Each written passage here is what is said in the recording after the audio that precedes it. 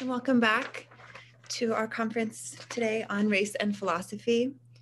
Um, our next speakers, next two speakers will be presenting on the topic of racism. And first we will have Alberto Urquidez from Bowdoin College. Dr. Urquidez is a postdoctoral fellow at Bowdoin College. He earned his PhD in philosophy from Purdue University he works on issues of racism and language. He is the author of numerous articles, including A Revisionist Theory of Racism, Rejecting the Presumption of Conservatism, What Accounts of Racism Do, and Jorge Garcia and the Ordinary Use of Racist Belief. He's also the author of Redefining Racism, a Philosophical Analysis. And after his presentation, we will hear from Dr. Rima Basu, um, who is an assistant professor of philosophy at Claremont McKenna College. She earned her PhD in philosophy from the University of Southern California. She has published on topics at the intersection of epistemology, ethics, and the philosophy of race. Motivated by cases like that of the seemingly rational racist, the central theme of Basu's work is that when it comes to what we should believe, it's not a matter of the evidence alone. Moral considerations have a say as well. Her works include the wrongs of racist beliefs, what we epistemically owe to each other, and radical moral encroachment, the moral stakes of racist beliefs. So we're thrilled to have both of them with us today, and we'll start with Dr. Urquidez.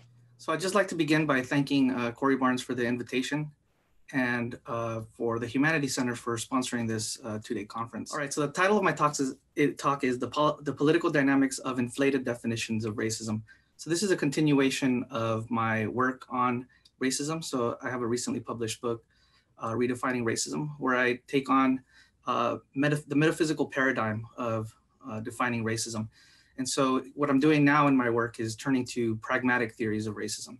And so Lawrence Blum is the target of my critique. And I know he's presenting later, so this might make for an interesting discussion if he so happens to be listening and decides to weigh in. All right, so there's three sections to my paper, and I'm just gonna jump right in because I'm, I think, at about 30 minutes with my presentation. So it's uh, the first section is conceptual inflation.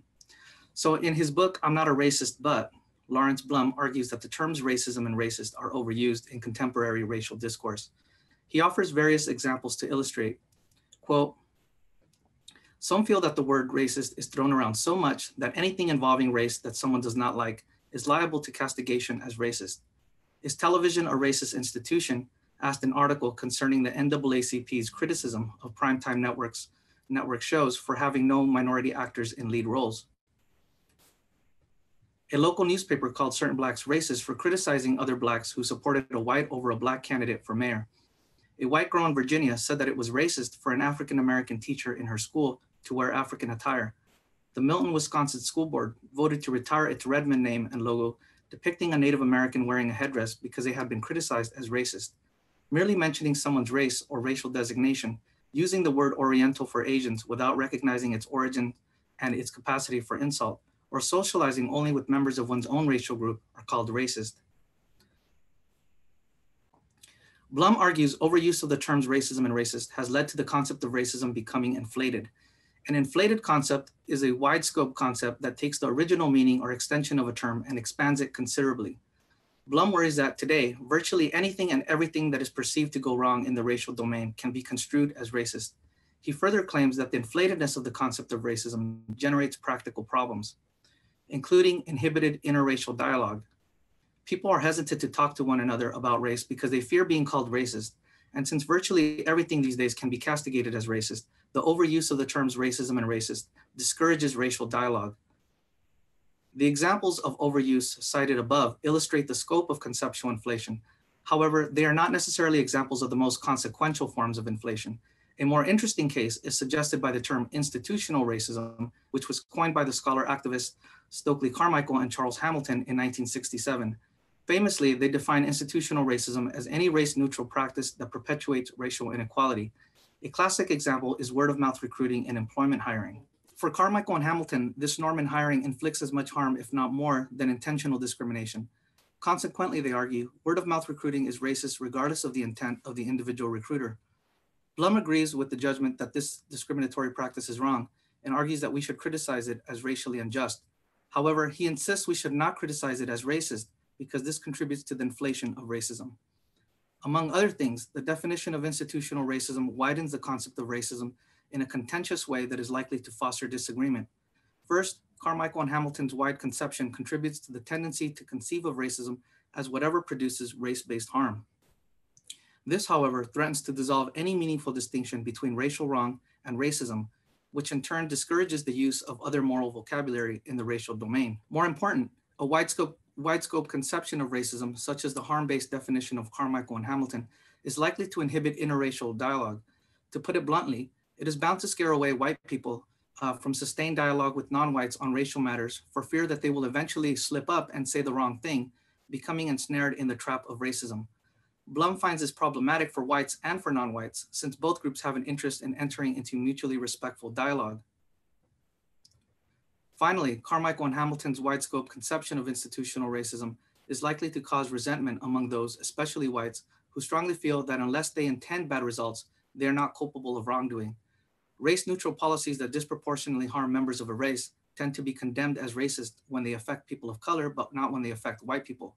The rationale behind this stipulation is the goal of correcting past racism, but the upshot is that whites can never be victims of institutional racism, and some whites are likely to be resentful of this implication. To resolve the aforementioned problems of contestation and inhibited interracial dialogue, Blum proposes adopting a new definition of racism, one that eliminates much of the inflatedness of the term. His proposed definition is that racism be limited to cases where institutions are contaminated by what he calls racial inferiorization or racial antipathy. If we accept Blum's proposal, then institutional practices count as racist only when their design or operation is a function of either of these. For example, Blum would say that institutional racism exists in a case where a social worker's belief that a certain race is inferior leads her to deliberately ignore protocol or policy in evaluating an applicant's application for benefits. He would say that institutional racism exists in a case where a police officer's hatred for a certain race leads her to selectively apply a rule, such as pulling over a driver for a broken taillight, disproportionately to members of that race. In situations like these, argues Blum, racism in the individual contaminates the institution, rendering it racist. A consequence of Blum's position is that many cases of institutional racial harm will not count as racist, for many such cases are neither intentionally harmful nor based on inferiorizing beliefs. However, the net benefit of rehabilitating interracial dialogue for Blum outweighs this limitation. What should we make of Blum's argument? Is the goal of achieving comedy in matters of interracial dialogue sufficiently valuable to do away with Carmichael and Hamilton's original analysis of institutional racism? Certainly, they do not think so, for they introduced the concept to resolve a need that individualistic conceptions like Blum's do not meet. When they developed this conception, they de- de- deliberately set out to center harmful results slash impact over harmful intent slash belief. They argued that many acts perpetuate racial inequality independent of intent or belief because the inequalities that currently persist are products of the original sin of white supremacy. What primarily interested them was not individual con- conduct and accountability, but institutional structures and norms. Hence, they favored a conception of racism that was critical of the role that norms, policies, and practices have in perpetuating injustice. In the remainder of this paper, I offer a critique of Blum's argument from conceptual inflation. I question Blum's normative contention that the ability for whites and non-whites to enter into respectful dialogue, say for purposes of negotiating resolutions to racial injustice, is so important and fundamental a value that it overrides the political value of conceptualizing institutional racism as Carmichael and Hamilton conceive it. For Blum, the cost of continued use of inflated definitions of racism is continued deterioration of racial dialogue, which is too high a price tag for him. However, I raise doubts about two of Blum's premises. First, that all inflated definitions of racism are undesirable. And second, that a proper resolution to the inflatedness of racism is a deflated individualistic definition. The upshot of my critique is that conceptual inflation considerations are not sufficient by themselves to undermine Carmichael and Hamilton's wide scope conception of institutional racism, or more generally, uh, wide scope conceptions from a racial injustice perspective. All right, section two, conceptual inflation and the sociology of race. In this section, I draw on the sociological analysis of Ashley Woody Doane to argue that the conceptual inflation of racism is a function of competing political interests. The implications of this analysis for Blum's argument will be discussed in section three, explaining conceptual inflation. In his paper, What is Racism? Doane describes the way in which the civil rights movement that began in the late 1940s and reached its peak in the 1960s successfully changed the standards of acceptable racial discourse in the United States. Because of the efforts of this influential counter movement to white supremacy, the standard of racial discourse today is the ideal of racial equality. This standard means that explicit appeals to notions of innate or biological racial inferiority and superiority are widely criticized as racist in virtue of transgressing the ideal of racial equality. That racial equality has become the de facto standard of racial discourse is evident in shifts in white attitudes on matters of race. Of course, racial equality in discourse did not translate into racial equality in social standing. Rampant racial inequality still persists. However, whites that defend racial inequality no longer primarily rely on arguments of white superiority and non-white inferiority. Not surprisingly, then, the ideology, ideology that protects white gains, advantages and privileges that can be traced back to the United States white supremacist history, has been forced to evolve to conform to the ideal of racial equality. As a result, the arguments given today are generally rooted in colorblind explanations.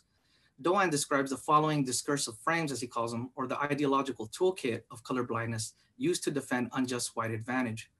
So the first element of this toolkit is abstract liberalism, which is a set of argumentative frames that attack race-based remedies seeking to mitigate the ongoing harms of present and past racism on grounds that they violate democratic principles such as equality or freedom. The second element in the toolkit is deriding multiculturalism, that is the use of uh, derisive terms like identity politics, tribalism, or political correctness to criticize multicultural events, cultural awareness and recognition initiatives, and diversity, equity, and inclusivity initiatives. Third, denials or minimizations of the persistence of racism, such as the judgment that racism is a thing of the past, the judgment that some obvious case of racism is an exception or an isolated incident, or the charge that some allegation of racism is an overexaggeration. Finally, impugning the motives, moral perceptions, or moral sensibilities of those who explicitly call out racism. For example, accusing the critics of racism of seeing racism everywhere and in everything, or of being oversensitive to racial jokes or microaggressions, or of playing the race card, that is, shifting the blame onto whites as a way of making excuses for one's own moral failings or the failings of one's own racial group. Doane's analysis can be expanded, expanded into an explanation of conceptual inflation. Whites have an interest in rejecting efforts to correct past racism. Hence, they have an interest in criticizing race conscious arguments and policies. And one way to do this is to endorse a definition of racism as race consciousness. By contrast, non whites have an interest in advocacy on behalf of reparative race conscious policies. Hence, they have an interest in criticizing attempts to undermine such efforts. And one way to do this is to endorse a definition of racism as racial injustice. In other words, the conceptual inflation of racism may be a function of two competing political realities. While non whites are increasingly vested in identifying racism with racial injustice, whites are increasingly vested in identifying racism with color consciousness. The politics of claims making. In his paper, What is Racism? Doane Doane's discussion of the politics of contested definitions of racism occurs within the context of claims making. Claims making is concept formation that occurs by means of ostensibly descriptive judgments about social reality. The sorts of claims of interest to Doane are claims about what is and what is not racist. For instance, judgments like he's a racist or the criminal justice system is racist. Claims making needs an audience, as the aim of claims making is to persuade. Hence, it is a phenomenon that typically occurs in the public domain, such as arguments that occur in print or social media, for example, op-eds or blogs. Second, claims making in the racial domain serves a political function. I will briefly describe the sense in which representations of racism are political. The political nature of claims making can be understood by reference to the idea of a speech act, that is, performing a distinct act in the act of uttering a word. For instance, when a judgment in a courtroom finds a defendant guilty, or sorry, when, the, when a judge in a courtroom finds a defendant guilty, the judge does not merely perform the act of uttering a set of words, she also performs the act of finding someone legally culpable. Similarly, by calling something racist, an individual performs two speech acts in addition to the uttering of words. First, one performs the act of criticizing something as racist. Second, in criticizing something as racist, one performs the act of advancing a conception of racism. That is, one seeks to influence the audience's understanding of the meaning of the term racism. This latter act is the relevant political component. To illustrate, consider an example provided by Doane, quote, in a syndicated article published in the Hartford Courant entitled Ingrained American Racism Killed My Son, Camille Cosby presents an interpretation of the well-publicized murder of her son, Ennis Cosby, by a young immigrant. According to Cosby, the murderer did not learn to hate Black people in his native country, the Ukraine, but instead was influenced by the racism and prejudice that are omnipresent and eternalized in America's institutions, media, and myriad entities. For Cosby, racism is clearly more than a matter of individual hatred, as she cites a number of examples of institutional and cultural racism, ranging from health studies to the media to voting rights, end quote. By contrasting racism as racial hatred with the omnipresent racism baked into America's institutions, Camille Cosby does not merely criticize America's racist, but advances a definition of racism as systemic or structural.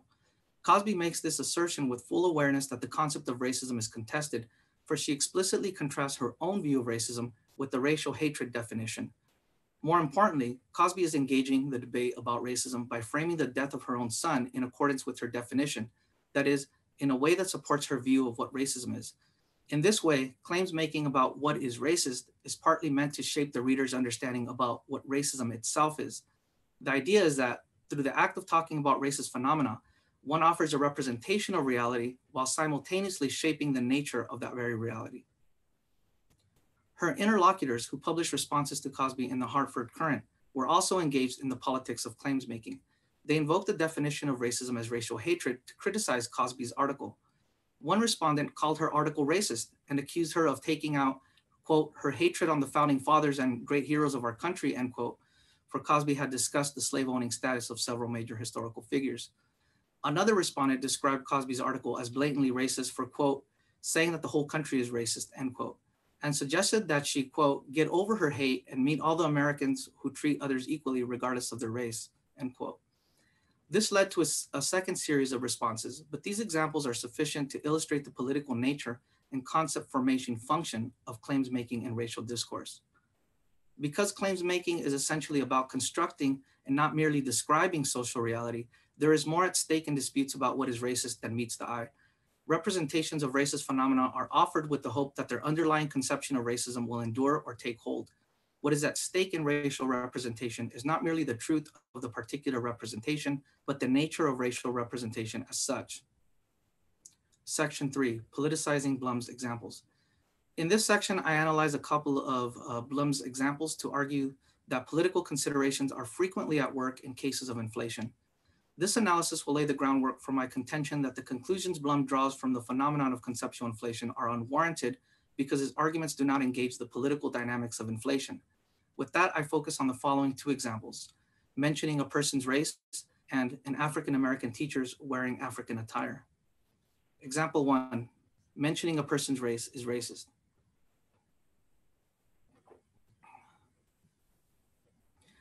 Let us begin with the example of characterizing as racist merely mentioning a person's race. In response to the question, who do you mean? One might reply, the black man over there. If someone says it is racist to refer to uh, people by mentioning their race, is there any reason to think there is a political motive at work here? Arguably there is. The first thing we must consider is the following question. What is it about the assertion, he's the black man standing over there, that many people increasingly find offensive, even racist? Perhaps what is offensive is that pointing out a person's race forces other people to see race, that is, acknowledge racial difference. One might find this problematic if one thinks that acknowledging racial difference is the source of social division and fraught racial relations. Thus, by calling race designations and descriptions racist, one implicitly challenges the distinction between a racial description and racist description. Since this remains a commonly accepted distinction in public context, a public display of offense at another person's racial description amounts to an implicit critique of that individual's racial awareness. By extension, it amounts to an implicit critique of most standard definitions of racism, which take the distinction between the racial and the racist for granted. Doane, interestingly enough, brings up a similar example. He considers an op-ed column written by a local radio host. In this op-ed, the author appeals to the value of color blindness, arguing that the constant focus on racial difference is the main source of racial bigotry in the United States. The op ed contributor argues that US society has become so obsessed with racial discourse that racial consciousness has affected every aspect of society. The obsession with race for this contributor is institutionally present in various places, including the Census Bureau, schools, segregated dorms, social clubs, bilingual programs, and employers who are required by law to count color. For this contributor, racial categorization is so pernicious that the harm committed by overemphasizing racial difference is now far worse than the harm of racial discrimination. Consequently, racial categories should be abandoned. Examples such as this, argues Doane, suggest an emerging definition of racism, namely, quote, racism as race consciousness or the use of racial categories, a conception that represents the ultimate application of colorblind racial ideology and the claim that race doesn't matter, end quote.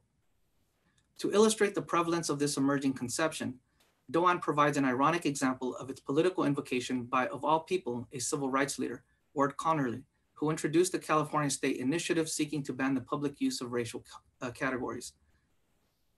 Connerly's argument was that, quote, every time a country has adopted these divisive race classifications, they have only served to suppress the group out of, out of favor. It is time California learned this history lesson and become truly colorblind, end quote. Doane argues that a full-on assault on racial justice is on the cusp, as white resistance to racial categories makes it virtually impossible to track or measure racial injustice. Quote, banning and noncompliance with racial data collection is becoming increasingly widespread. This has significant political implications. If the collection of racial data is eliminated, then it will become difficult, if not impossible, to provide credible evidence of patterns of discrimination or even to assess the relative degree of racial inequality. Without such evidence, white advantages will become unassailable a position made possible by a discourse employing the language of color blindness and anti-bigotry, end quote. Doane's analysis is supported by former President Donald Trump's executive order on combating race and sex stereotyping, which reads in part, quote, Today, however, many people are pushing a different vision of America that is grounded in hierarchies based on collective social and political identities rather than in the inherent and equal dignity of every person as an individual. This ideology is rooted in the pernicious and false belief that America is, is an irredeemably racist and sexist country, that some people, simply on account of their race or sex, are oppressors, and that racial and sexual identities are more important than our common, common status as human beings and Americans, end quote. For the executive branch of the US federal government, at least under Trump, colorblindness is the official policy of the land. A statement of this form should not be dismissed as empty rhetoric, for it threatened to restrict federal tax dollars to diversity and anti-bias trainings that involve quote unquote racist stereotyping as defined by the Trump administration. These cases place in plain view the overt political nature of the color conscious conception of racism. Its ultimate aim is to sound the death knell for racial justice. Those who have an interest in promoting racial justice thus have a reason to reject the view that anti racism consists in color blindness. Blum, for his part, is critical of the color conscious conception of racism for the same reason he rejects the racial injustice view of racism. He claims that in both cases, the conception in question is inflated and thus contributes to inhibiting interracial dialogue. That said, Blum does not discuss the political implications of his own individualistic definition of racism.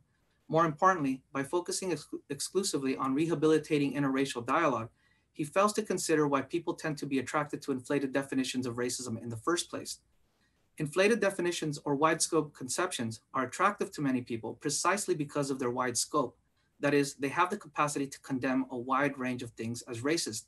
For instance, the race conscious view of racism is useful for criticizing anything and everything that has to do with race, making racial jokes, referring to people by reference to their race, learning about race in the classroom, and so on. Similarly, the racial injustice view of racism criticizes every type of racial injustice afflicting non whites, regardless of the intention or beliefs of the agents involved. The politicized nature of definitions of racism means that adequately defending one of these definitions over the other cannot be resolved by reference to the need to deflate the concept alone. Oops, I lost my place here. As Blum argues, for the need as Blum conceives it is contested by those who think there is a need for an inflated concept of racism. What is required then are normative or pragmatic arguments for rejecting one or both of these conceptions and these will have to speak to the various interests at stake in the battle over who gets to control the grammar of racism. These reasons must be political in nature, otherwise, the philosopher's message will fall on deaf ears and his argument will be de- detached from the political considerations that, that, that prompt disagreement about racism. So the second example, wearing African attire is racist. Next, let us consider Blum's example of a white student that condemns as racist an African American teacher for wearing traditional African attire to class. This example might seem detached from politics, for non-political explanations are readily available. For instance, it might be argued that the student's racist description is based on cultural discomfort or xenophobia, perhaps a desire to live in a homogenous society. The student sees a teacher who looks different from her and she feels uncomfortable. Moreover, it might be argued that the ethnocentric desire to privilege one's own culture as normative is a phenomenon that applies to all groups, not merely to whites harboring racial anxiety. The objector is correct that ethnocentrism may be a cross-cultural problem, something that may plague all human beings. Nevertheless, Blum's example may not be politically innocent. Perhaps the premise behind the student's assertion that wearing African attire is racist is that African attire is racial attire. Thus, to wear it is to racialize one's body in a public way that provokes others to perceive it. In other words, seeing racial difference is morally objectionable or racist because society ought to be colorblind. Is it possible that the student in Blum's example is thinking along these lines? This might seem a bit of a stretch to some, However, this presumption is precisely what we should expect given the dominance of white norms and values. A young student does not have to have this conception of racism clearly worked out in her own mind for it to be implicit in the logic of her thinking. As Doane explains in his introductory chapter on an anthology on whiteness studies, quote, the central component of the sociology of whiteness is the observation that white Americans have a lower degree of self-awareness about race and their own racial identity than members of, of other racial slash ethnic groups. While the nature of white racial identity remains for the most part uncharted territory for sociological research, a growing body of research suggests that whiteness is a hidden identity. That is, that it does not generally intrude upon the everyday experience of most whites. In interviews with white subjects, Robert Terry, Joe Feagin, and Hernan Vera and Beverly Tatum found that the most common answer to questions concerning the meaning of whiteness was, I never thought of it. Similarly, Judith Martin and colleagues found that college students who adopted the white label were generally unable to provide any meaning for the identity beyond white means white, end quote. The invisibility of whiteness is a mark of the fact that whiteness is normative within society. Its invisibility is essential to the logic of colorblind thinking and rhetoric. To see this more, more clearly, notice what the individual in Blum's example assumes. That which is not white is racial. Presumably, this individual does not decry wearing quote unquote white attire as racist. There's no such thing as being racist in virtue of dressing white, except perhaps as a feeble joke. To dress white, according to this individual, is to dress normal, which is how things should be. For the individual in Blum's example, only non-whites can be properly categorized as racist or as racial. Whites do not constitute a race. Further, anything that is not white is problematic, less desirable, defective, threatening, or cause for anxiety. As Doane puts it, quote, to the extent that white racial unconsciousness persists, whites are less likely to perceive the degree to which whiteness permeates cultural understandings and institutional practices, and are thereby more likely to resist attempts to redefine the white center of American society, end quote.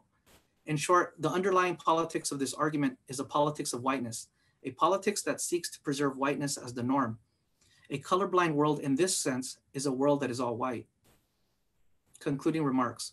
I have argued that many of Blum's examples are or easily could become cases of political disagreement. That is, political motives can and may well be informing specific judgments about what is racist and what is not racist. And the function, moreover, is not merely to shape judgments about what is racist, but about what racism itself is. The competing conceptions we have considered, racism as racial injustice and racism as race consciousness, are inflated conceptions. This is not an accident for their inflated nature is what allows them to be used combatively against the opposing conception, as I have argued. To further emphasize this point, I introduced the, now the term parasitic contestation. A concept is parasitically contested if and only if some of its applications are deliberately invoked to criticize other applications of the concept. Racism is not merely a contested concept, it is a parasitically contested concept. The race consciousness and racial injustice conceptions of racism do not merely compete, they compete by criticizing one another as racist. If racism is race consciousness, then all attempts to repair existing racial injustice are racist, for all such attempts require seeing racial difference. If racism is racial injustice, then the conception of racism as race consciousness is racist, for the conception reduces all racial observations, including observations of racial injustice, to racism. In short, the tendency toward inflation corresponds to the competing interests of both whites and non-whites, who play out their conceptions in the battlefield of parasitic contestation. Racial minorities seeking to appropriate the concept of racism for their own political gain have an interest in advancing a race conscious political agenda. Whites who belong to the racial majority arguably have an interest in opposing race conscious agendas that serve minority interests insofar as they negatively impact whites. The main conclusion here, so there's two conclusions.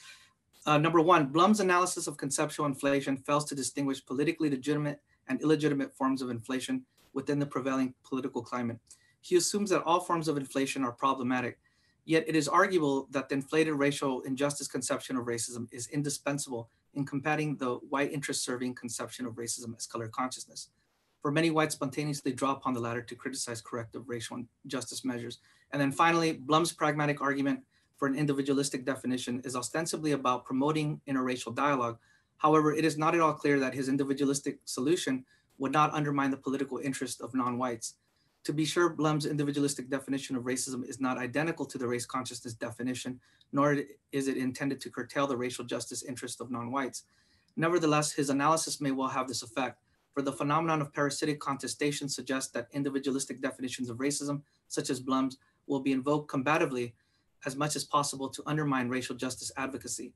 Furthermore, it is difficult to see how any definition of racism that is useful for purposes of advancing racial justice practice could be made consistent with Blum's requirement that a definition of racism be deflated.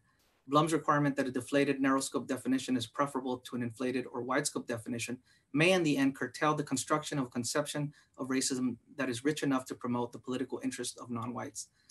Thank you. And next we'll hear from Dr. Basu, who will present on seemingly rational racist and moral demands on belief. Uh, thank you for the invitation. Uh, what I want to do with the time that I have today is try to like lay out two conceptually distinct ways that I think morality might come to bear on belief uh, by looking at the case of what I'm going to call the seemingly rational racist. And so you shouldn't have done it, but you did. Uh, against your better judgment, you scroll to the end of an article concerning the state of race relations in America, and now you're reading the comments. Amongst the slurs, the get rich schemes, the threats of physical violence, there's one particular comment that catches your eye. Spencer, that's just what I'm going to call him, Spencer argues that although it might be unpopular or politically incorrect to say this, the evidence supports believing that the black diner in his section will tip He insists that the facts don't lie, the facts aren't racist, and in denying his claim and believing otherwise, it's actually you who's engaging in wishful thinking. It's you who's believing against the evidence. It's you, not Spencer, that's epistemically irrational. And so my research project takes this challenge of like the rational racist as a starting point for considering how the norms governing belief must be revised to be responsive to the fact that we live in a society that's been shaped by racist attitudes and institutions. So in this slide, we just see like a classic image depicting redlining. Uh, but many philosophers have been kind of resistant to this idea that there are any moral epistemic norms governing belief. And what's commonly accepted is that the rationality of our beliefs is purely a function of the evidence. And so we have racist world on one hand and just follow the evidence on the other hand. Well, against this approach, I've argued that when it comes to determining whether we're justified in our beliefs, we also have to attend to the moral risks of those beliefs. So these aren't like two opposing things, but rather we can kind of find a way between them. And I think that unless we adopt this approach, it's difficult to articulate what the supposedly rational racist does that's wrong. Because given the effects of structural racism, his beliefs could have considerable evidential support. Nonetheless, his belief strikes us as like a paradigmatic example of a racist belief. But how could his belief be racist if it reflects reality and it's rationally justified? Moreover, how could he wrong anyone by believing what he epistemically ought to believe given the evidence? Right? This is a challenge that someone like Spencer poses because it highlights this like tension between our deep interest in being responsible moral agents, those who form well supported beliefs about the world, and in being responsible moral agents. Like living in an unjust world seems to put us in this sort of dilemma. And so to navigate and diagnose this tension, in my work, I've introduced two ideas. Uh, the first is doxastic wronging, uh, which is the thesis that our beliefs, that is, our doxastic states themselves, can be a source of wrongdoing, regardless of whether our beliefs are expressed in our actions. And second, moral encroachment, the thesis that moral considerations bear on the question of whether a belief is justified.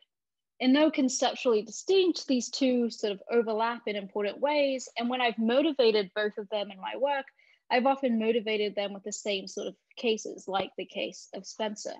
And so, what I want to do today is sort of lay out these two claims, the kinds of cases that motivate them, while also keeping in mind this character of the seemingly rational racist and what we should say in response to them and how we should diagnose what's going on in that case. So, let's start with moral encroachment. So, moral encroachment is the view that moral considerations bear on the justification of belief. Critics of moral encroachment claim that moral considerations do not bear in any way on justification. After all, beliefs aim at truth.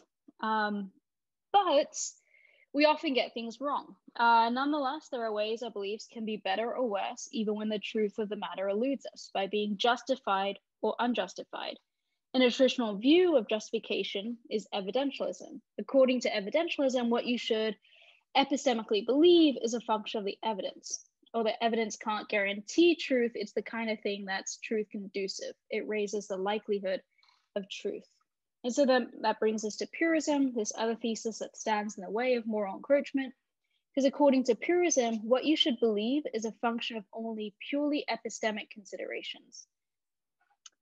I don't know why they're texting me right now. I told them not to, but there we go. All right. Um, where was I? Uh, so what you should believe is a function only of purely epistemic considerations, i.e. those things that are truth conducive, and importantly, not moral nor practical.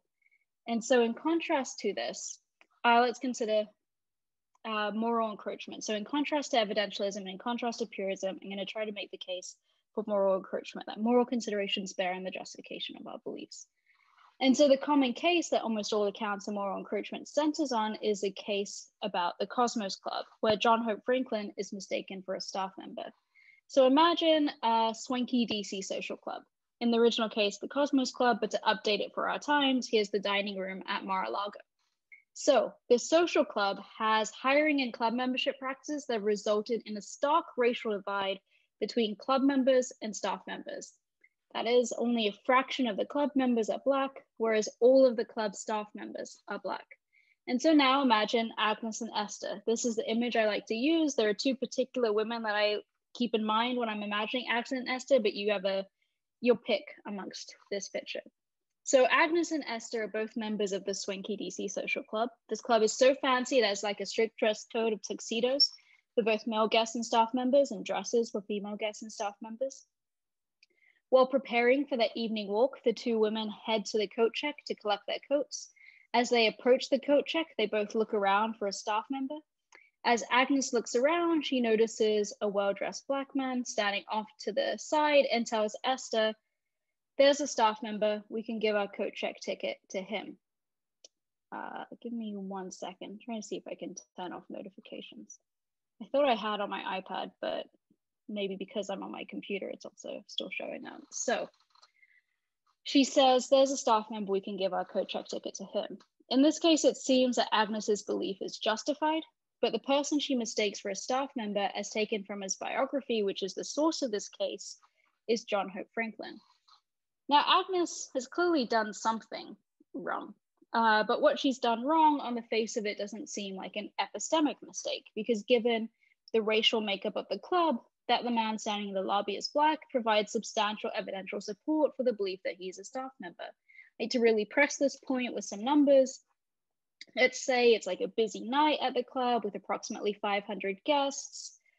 Uh, of those, uh, of those guests, only five are black, whereas all 50 staff members are black. Well, with those numbers, the chance of a well-dressed black man being a club member is only 9%. The chance that he's a staff member is 91%. Now, in most cases, 91% certainly would be more than enough to justify believing. For example, if I told you there's an 80% chance of rain tomorrow, it wouldn't be irrational to believe that it'll rain tomorrow.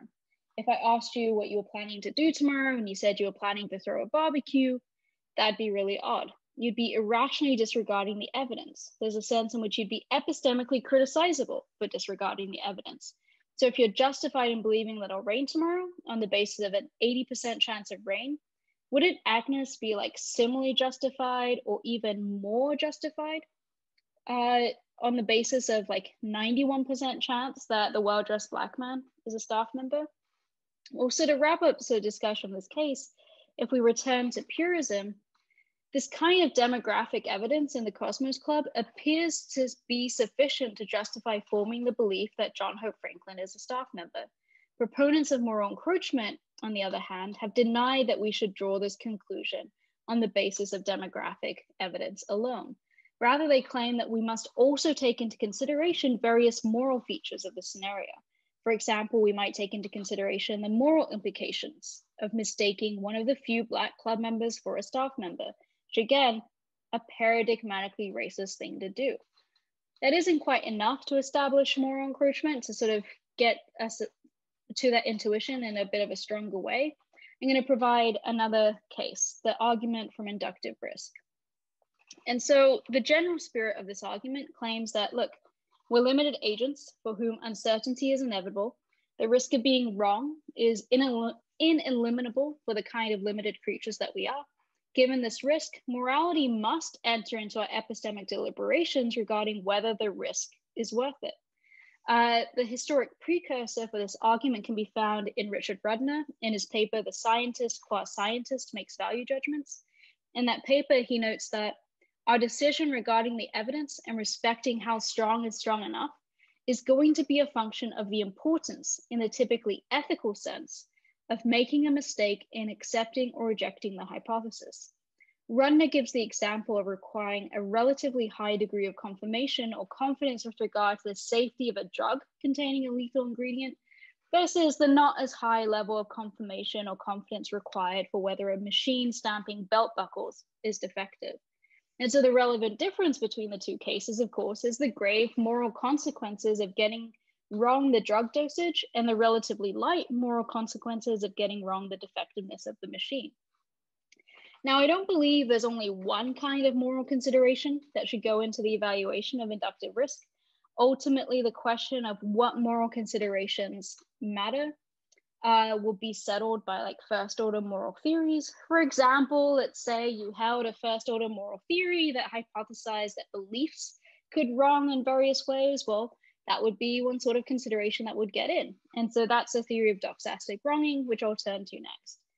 So according to doxastic wronging, well, turning to doxastic wronging, I want to set aside these issues of justification to highlight another way that morality comes to bear on what we believe about one another.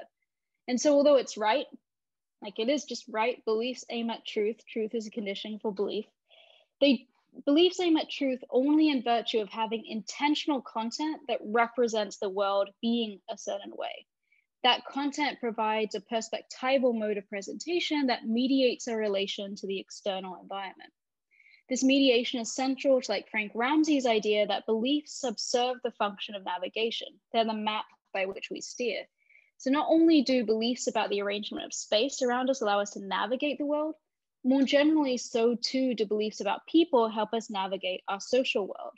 It's in virtue of belief committing us to this content, content that represents, in the case of beliefs about another person, perspectival claims about that individual's status in the world, that I conjecture solidifies beliefs' moral standing. By mediating our interpersonal relations to others, beliefs about others bear moral weight. And so doxastic wronging is the thesis that beliefs, in virtue of the standing, can sometimes themselves be the source of moral wrongdoing. And so to give an example, let's consider Grace uh, from the hit Netflix show Grace and Frankie. During an interview in season five of the show, uh, Grace reveals some beliefs she holds about her daughters, Brianna and Mallory. She believes that Brianna has run the family company into the ground. She also believes that neither neither that Mallory is a smart daughter nor that she's made good use of the degree a degree that Grace paid for. Ultimately, like later, as her daughters pack up their desks, Grace is confused by why her daughters are upset with her, but she's willing to apologize for having said what she did. But as Mallory points out, it's not that you said all those terrible things, it's that you actually believed them. And so here, Mallory's making this overwhelmingly intuitive point that the source of wronging is not in what Grace said, but in what she believed about her daughters. And so I think this exchange demonstrates these three hallmarks of doxastic wronging that doxastic wrongs are directed, that they're committed by beliefs rather than the consequences of acting on the belief, and that doxastic wrongs are wrongs in virtue of the content of what's believed. And so, elaborating on these in reverse order, I again take it that beliefs having the representational content that they have is essential to the sort of moral standing. So that's hallmark three. This content represents her daughters as standing in particular relation to the property she attributes them. For example, her, her belief about Brianna relates Brianna to attributes like being a bad CEO. And naturally, her daughters have legitimate complaints about the picture that that content paints of them. And there are many features that factor into whether complaints on belief are legitimate. But for now, I'm going to take Brianna and Mallory's to be an uncontroversial case. But beliefs aren't just constituted by their representational content, they also place the bearers of those beliefs in a particular relation to the content, one of committing to those that content being true. And so that's hallmark two. Because propositional attitudes involve both uh, propositions, representational contents, and attitudes, relations to the contents. And beliefs are committal mental states. They involve committing the subject to the truth of the representation. And so that's why beliefs can wrong. The representational content, together with that commitment, constitute a wrong in the belief itself. Like if Grace had just said the relevant propositions, but wasn't committed to the content being true, like she thought lying would save the company, well, her daughters would feel differently. They might be upset that she lied. They might be suspicious of why she chose those particular lies, but those would be different complaints. Or if she like doubted, denied, or feared that the way the content represented her daughters, then there'd be no complaint at all. It's the belief that the mother was committed to the particular content that she was that wronged her daughters. Now, although this case hasn't concerned racist beliefs, we can see how it would like easily extend to beliefs with racist content. Like I've made a very conscious choice to focus on this kind of interpersonal case, and with the case of Spencer to focus on the stereotype regarding tipping rather than the usual kinds of stereotypes they use. But you can sort of see how we can extend this analogy. But finally, with respect to this first hallmark, with respect to beliefs being directed at others, let me say a bit more about that by turning to uh, something that Rae Langton sort of notices. So Rae Langton makes this point that, look, we don't simply observe people as we might observe planets. We don't simply treat them as things to be sought out when they can be of use to us and avoid when they're a nuisance. We are, as Strawson says, involved. Like when it comes to people, there's a different way of going about. And this way of going about concerns not only how we treat them through our actions and our words, but also how we consider them in thought. And so, like Barry Marusic and Stephen White have similarly argued that when it comes to persons, like the core Kantian idea that underpins the idea of the categorical imperative is the following that our way of relating to people is categorically different from our way of relating to objects persons as ends in themselves are not to be related to in the way one relates to objects. And once you accept that general intuition, you might begin to wonder, all right, so how are we going to capture this different way of like relating to others? Well, this being involved that Langton attributes to Strawson is the recognition that others' attitudes and intentions towards us are important in a way that's distinctive to the kinds of thing that we are and that our treatment of others, like our beliefs about others, should respect that kind of importance. We are, each of us, in virtue of being social beings, vulnerable, and we depend upon others for our self esteem and self respect. Respect and esteem aren't just mere matters of how we're treated in word and deed, but also a matter of how we're treated in thought. And so the implication of this quite minimal kind of Strawsian and Kantian picture that I'm painting here is that people should figure in our in both our theoretical and practical reasoning in a way that's different from objects. Because we care how we feature in the thoughts of other people. We want to be regarded in their thoughts in the right way. And so doxastic wrongs are failures to regard people in the right way and so i've explained these two doctrines i've explained sort of what the various commitments are what the various cases are that motivate them but you might sort of think, all right, well, I accept one, but I don't accept the other, or like I don't like there are various different ways of combining the views, which would take too long to sort of go into. But for now, I just want to explore like various ways that they can be separate to see if I can get you to bite the bullet on at least one of them. Uh, so by keeping the doctrines separate, we can also demonstrate how there are prominent views that accept one while rejecting the other. Uh, so here are some examples of some dominant views that, you know, uh, would accept moral encroachment, but not doxastic wronging. So that's like Rudner, doxastic wronging, but not moral encroachment. You get doxastic partiality views like Sarah Stroud and Simon Keller, like believing against the evidence views like Barry Marusic. But I want to sort of wrap up so that we have enough time for like Q&A at the end, because I'm sure there are like plenty of questions that people have. So I'm going to skip over going into detail about the doxastic partiality views or going into details about Marusic's view and what I want to point to is one worry that you might have that comes, well, one worry you might have when we have like morality. I wanted to make sure I stopped on the slide. This uh, worry we might have about morality and epistemology being sort of pit against each other as though they are at odds with each other. And so this worry is voiced by Jennifer Saul, who notes that Accounts that pit morality and epistemic rationality against each other fit exceptionally well with right wing narratives of politically correct thought police attempting to prevent people from facing up to difficult truths, and of the over emotional left, which really needs to be corrected by the sound common sense of the right. Anything that props up these narratives runs the risk of working against the cause of social justice. That is, it seems a bad consequence of a view if, say, opposition to racism, what's morally required, leads one into epistemic irrationality. And I think this worry can be mitigated by adopting moral encroachment, because I think what Saul's quote demands is a kind of coordination between the moral and the epistemic, which is what moral encroachment provides. Like it recognizes we're limited agents, we're trying to reason in a world that's been structured by racism. And so we're going to have to consider these practical and moral risks that are associated with how we respond to the evidence. And so any theory of justification, any adequate theory of justification for the kinds of beings that we are, for the kind of world that we find ourselves in, has to be a theory of justification where justification is responsive to the moral stakes of our beliefs. And similarly, another reason not to be too worried about the conflict is, as Keller notes, the demands of human life are varied and conflicting, and the standards that apply to belief formation are varied and conflicting too. And so just to wrap up real quick, what have I done? Well, hopefully I've clarified this relationship between two doctrines in order to demonstrate two distinct ways that morality might come to bear on belief.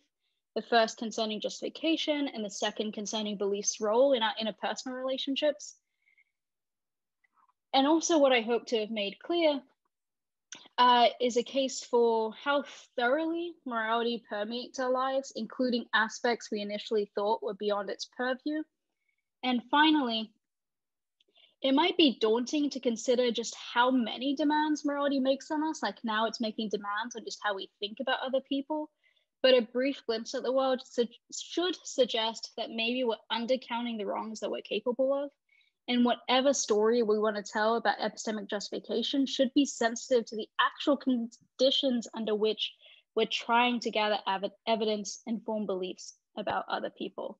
And with that, I will stop sharing my screen. Okay, thank you very much for that presentation. Alberto, I would love if you sent me your paper. I so I teach uh, Blum's uh, conceptual inflation paper that you're sort of critiquing in my philosophy of race class, and the students often have like quite similar critiques as the ones that you raise, and I think it would be like an excellent piece for them to like dig their teeth into. Yeah, absolutely. Yeah, I'll send that to you it's not you. really a question about the content. I was thinking that too, that it, it was so clearly well written. It would be like a good one to say, this is how you make an argument and this is how you make it really clear. I'm thinking about what you were saying that doxastic wrongs are wrongs in virtue of the content of what is said, um, not what is said. That I think that was one of the theses that you put forward. Um, and so I, I, think at some point you give an example. I can't remember exactly the example. Um, someone said something X. I don't know what that thing was. You were pointing out that the wrongness did not derive from what was said, but from what was believed um, by the speaker. Um, and I'm just wondering. I was I was thinking about another kind of example that can come up. For example, it, it might be just different from yours, and you have different ways of thinking about it. So consider an example, and this kind of example I'm getting ready to give, it comes from the lives of white children, the way they behave. I'm not making this up out, of my head. It's rare that I have to make up things about that white people say. So consider an example where a little white girl says to a little black girl with her white friends standing around, you're a boy. Now, I'm going to assume here, and that's why I made the point about I'm not making this up. So the assumption is not a made up assumption that neither the speaker nor her friends believed what was said. They didn't believe that the girl was a boy. Their statement and intent to hurt and the belief that the statement would hurt comes from their knowledge of racist tropes and how Black girls live in and with these tropes of being told that they're boys, thought to be boys, perceived to be boys. And I'm talking about cis Black girls. Okay, but this, but you could be talking about a trans Black girl, but I'm talking about cis Black girls. Um, so in this particular case, it would seem that the wrongness does not have to do with the belief that the Black girl is a boy, but what, what, what, what was said. So I'm wondering if you distinguish these two kinds of cases, and if you do, what, what, what markers, maybe there's not some kind of a priori marker, I don't know, but what kind of markers would you use to distinguish this kind of case um, where the, the, the, the, the wrongness seems to come from what was said and not the belief, unless you want to take the belief all the way back to uh, something having to do with what they believe about what would hurt this person. But still, what was said would seem to me to be very operative in this case. Thank you very much. I'm going to go, I'm going to mute. Yeah, fantastic case. Uh, I that's the kind of case that I don't think I would want to try to accommodate under doxastic wronging. Like that, I think is more so a kind of case that can be captured under just what it is that we try to do with words and what various speech acts try to convey that don't need to be accompanied with beliefs.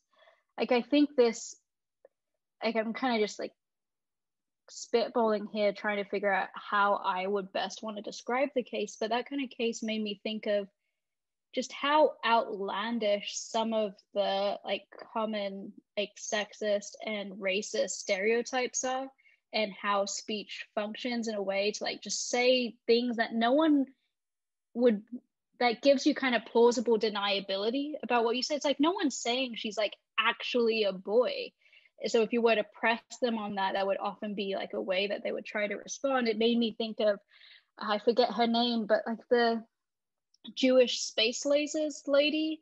Uh, and it's like if you were to press on, it's like, well, no one would actually believe that but there's something you're doing with words. There's something you're doing with like putting that speech out act out there that makes it easier to then like follow up with ways of treating that person in virtue of that speech act. I, there i think it's like words and language that's causing what's happening in that situation. I think it would be over intellectualizing in that case. Now say to try to trace that back to any particular beliefs that they have. And so one thing I do want to clarify is I'm not trying to give an account of like what goes wrong in every single case like this, but just I think doxastic wrongs are one area that hasn't really been theorized as much about, whereas I think the sort of languagey cases have often been more of the focus. But I don't have a like well worked out view of how to analyze that case, but my initial inclination is there's probably something with like what they're doing with words in that case that better explains that case than an account of doxastic wronging would. Okay, thanks. Um, our next question is from Grant Silva. I have two questions, one for each of you, but maybe I'll just ask one for sake of time. And if we have more time, I'll ask the other one. It's to uh, Dr. Basu. Um, in terms of thinking about the, I want to ask you about the role of responsibility in in the sense of wronging that you bring up here, especially in terms of the second doctrine that you offer. Because in many ways, our understanding of what constitutes um, a reasonable belief is conditioned by the culture and social atmosphere that we inhabit. And so I'm thinking about the ways in which um, media, you know, various social media news outlets condition our fears, they condition our awareness to certain fears rather than others, right? So we're led to believe that certain things are going, certain individuals are going to be more problematic or more dangerous um, as opposed to others. And so uh, I always tell my students, you know, I leave my wallet out on the um, lectern in front of my classroom with the group of individuals who are most likely to perform identity theft, right? And yet I worry more about riding my bike in front of the um, museum where there happens to be a lot of racial minorities, right? Like I'm conditioned to think of certain fears more than others. And so I want to sort of ask you about, you know, to what extent then are we to hold people accountable um, for this sense of wronging when it's always so easy to beg off on what was led to that kind of belief. It, it, you know, the, the sense of reasonableness here seems to come out of the social structure. I hope I'm making sense. Yeah, for sure. And I don't know how satisfying my answer will be. And just my response is like, well, morality is extremely demanding. Uh, it's incredibly hard to be a good person. And so one of the things we have to fight is, in fact, our social conditioning, is, in fact, that we are growing up in a world that's structured by like racist institutions. And so the deck is stacked against us if we want to believe well of other people and if we just want to just straight up be good people. And so it's going to be incredibly difficult, but I also don't think it's impossible. Like, I do think it's possible to reflect on your beliefs and like change your beliefs and in turn change your behaviors. But maybe I should have stopped there because then the next thing I want to say is like, even if it were impossible, I still think morality would still have these demands on us. But that's like my own like idiosyncratic rejection of like ought implies can, which we don't need to go into.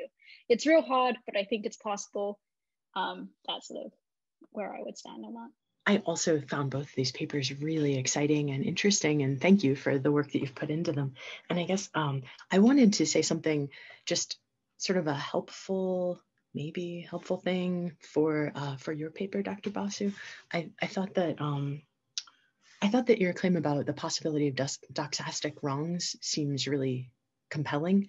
And part of the reason it seems so compelling to me is that I think one way we tend to praise people we think highly of is to say that, or maybe this is a particularly like feminine coded virtue or something, but it's like uh, someone who tends to think well of others or to give other people the benefit of the doubt, we, we think of that as a moral virtue. Uh, we think of a person like that as someone who is doing good by the way that they think of others.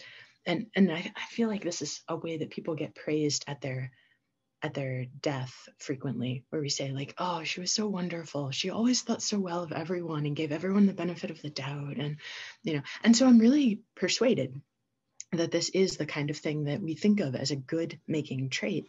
And that means we must believe that people have some control over it, that we can, in fact, make these choices about how we see other people, and that it's our responsibility to, um, to think well of others whenever we can. And that must mean trying to overcome our racist beliefs. So I just thought, like, if that is in any way helpful in convincing other people that doxastic wrongs are actually happening, then I would want you to have that in your toolbox too. Yeah, thank you. So my, my question was about your claim. I really found your paper fascinating. The um, the ways in which interest can in, in many ways dictate how we use and understand the term racism, right? And so you made the claim that um, from from the perspective of whites, the term racism seems to really call to mind color consciousness, right? Whereas for non-whites, there's this rectificatory justice perspective. Um, it would seem like the discussion of racism then from the perspective of, of whites is mostly about promoting ideology, right? It's this, it's the kind of understanding of racism that really wouldn't do anything in terms of rectifying inequality.